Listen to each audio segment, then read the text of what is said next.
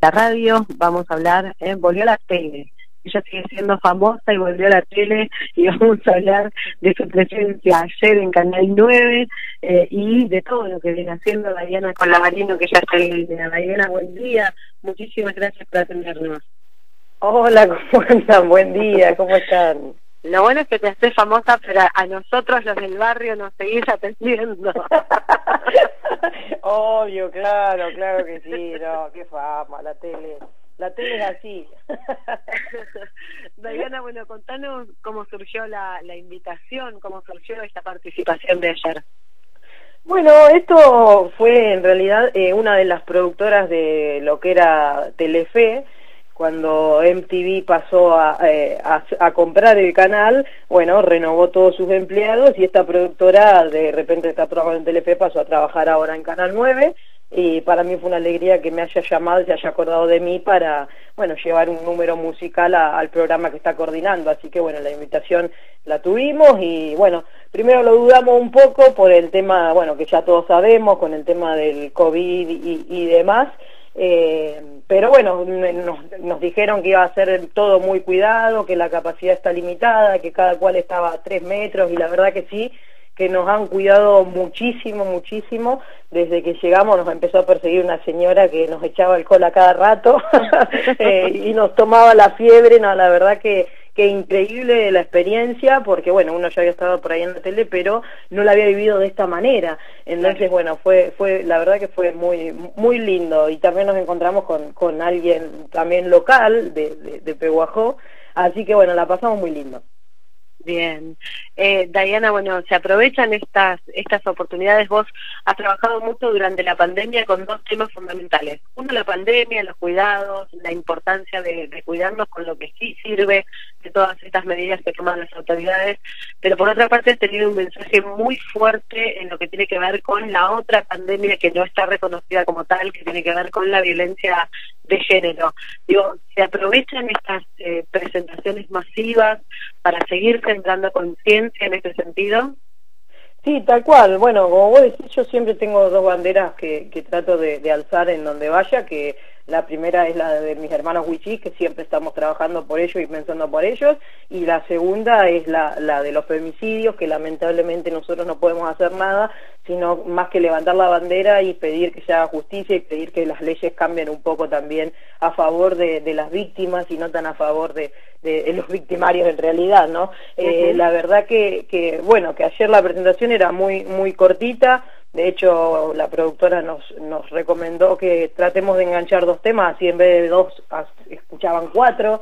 Eh, fue muy acotado el espacio también de la tele, el programa duraba una hora nada más, pero la verdad que me sentí muy, muy cómoda porque el conductor Pablo eh, como que me daba, había estado a, investigando, primero que cuando llegué me saludó, se declaró fan, eh, y después había estado también leyendo mucho de lo que yo hacía con la, con la colecta de los pueblos originarios y también me sorprendió porque me habló de la canción No es Amor, que justamente es la canción que, que yo hice en memoria de Bárbara Zavala, víctima de femicidio, y la ponían de fondo todo el tiempo, entonces nada, fueron 12, 13 minutos que para, mí fue, fue una maravilla en la manera que estuvieron eh, trabajados también, ¿no? Porque pude presentar cuatro canciones de mi repertorio, pude hablar de la colecta que estamos haciendo para los pueblos originarios que nos vamos ahora en julio, pude también hablar de, de Bárbara Zavala, que no me gustaría que se olvide nunca ni Bárbara ni ninguna víctima de femicidio, así que fue como muy acotado, pero fue intenso y estuvo bueno.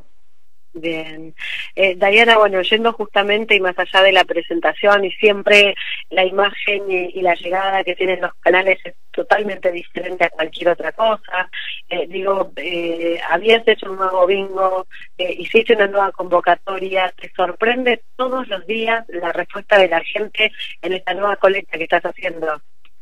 Sí, nada, increíble, increíble, André, como yo te dije cuando arrancamos con esto hace un mes y pico de la colecta virtual, eh, puse 50 pesos como diciendo, a ver, che, si no me quedo en cero porque si no voy a pasar vergüenza con esta idea de la colecta virtual, eh, y, y, de repente, nada, estamos a un mes y pico de que hemos hecho, como te digo, el sorteo del huevo solidario de Pascua, que hemos hecho los bingos, que tenemos un montón de cosas que nos han regalado, que estamos pensando en hacer un bonito que se sortee justamente por ahí antes del viaje, eh, porque tiene varios premios también que nos han ido donando, y estamos a creo que 700 u 800 pesos de, llegar a los 110 mil pesos en la cuenta que tenemos en Mercado Pago, así que es una locura y estoy sumamente agradecida a que la gente siga confiando en mis manos para hacer y llegar a, a estas comunidades tan olvidadas y para hacer un puente, un nexo entre ellos.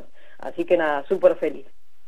Bien, Diana, bueno, mientras tanto, y lamentablemente las noticias que siguen llegando desde el norte no son buenas. Veía y me acordaba de vos automáticamente el otro día y otra vez en algunas comunidades se, registran muertes de niños, niños que mueren por hambre y esto no es eh, una, una descripción gráfica, no es un comentario, eh, no es un invento, digo, es una realidad con la que vos te chocas cada vez que viajas, cada vez que estás en contacto con ellos. Sí, sí, tal cual. De hecho, ayer, bueno, nuestras redes estaban a full, eh, con mucha gente que se iba sumando también a, mis redes sociales que se iban sumando a, seguidores y demás, entonces aprovechamos también a poner que justamente antes de ayer eh, falleció también en la localidad de Rivadavia otro niño wichí deshidratado y que esto es una realidad que sale una noticia después de que fallecen 30 o 40, eh, pero bueno, esto es una realidad que, que la siguen viviendo año a año lamentablemente, es una pandemia que para ellos nunca acaba y por la cual estamos nosotros luchando para que ese granito de arena que vamos a llevar en julio no sea tan insignificante, sino que bueno, que, que al menos les dure unos días y yo creo que vamos en un buen camino eh, y bueno, trabajando para eso, sabemos que es una realidad recontra, re dura la que viven ellos, pero eh, si nos quedamos acá tampoco vamos a ser parte de ese cambio, ¿no? Porque como yo siempre digo, uno quiere, dice, ah, hay que cambiar el mundo, ay, qué mal está nuestro mundo, qué mal está nuestro país, pero no hace nada, o sea, si nos quedamos en el cruzado, nos quedamos en eso de, de qué mal estamos, no, bueno, qué mal estamos, pero que el qué mal estamos te sirva para mejorar ese qué mal estamos, ¿no?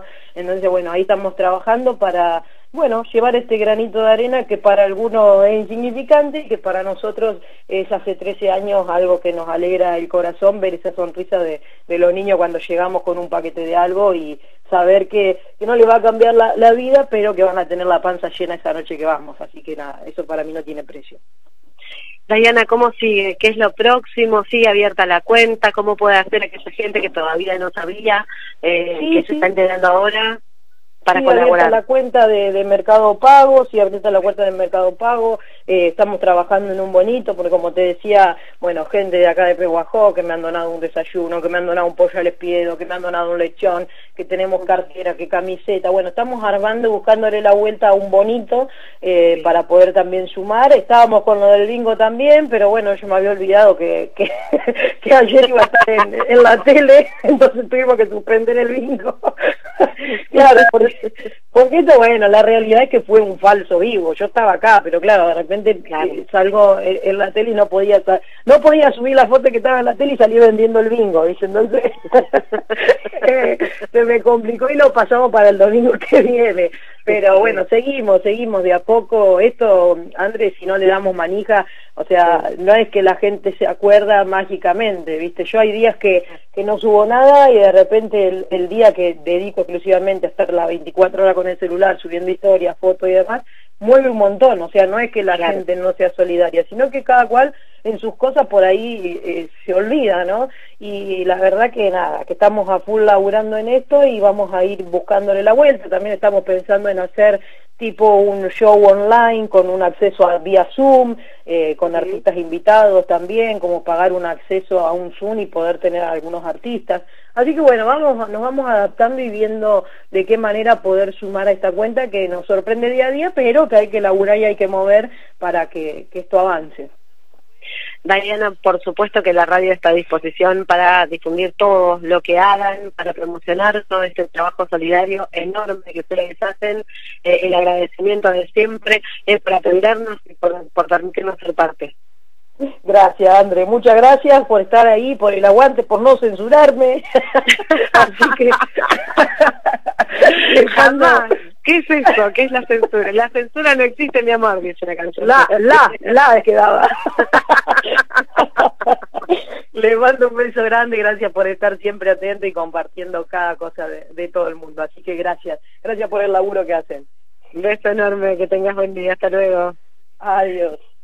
Diana Colamarino, eh, una, una vecina adoptiva, nosotros le decimos peguajense igual porque la adoptamos, siempre lo aclaramos, eh, estuvo en Canal 9, tuvo la, la oportunidad de levantar sus dos grandes banderas desde hace tantísimo tiempo que tiene que ver con eh, su pelea por ayudar a las comunidades originarias y eh, su lucha por visibilizar y no olvidar a las víctimas de femicidios, entre ellas a Bárbara Zavala, eh, tuvo la oportunidad de contar todo este trabajo, tuvo la oportunidad de mostrar su música y además mientras tanto sigue con bingos, con sorteos, con un montón de cosas para seguir recaudando fondos para el próximo viaje a las comunidades de Santa Victoria.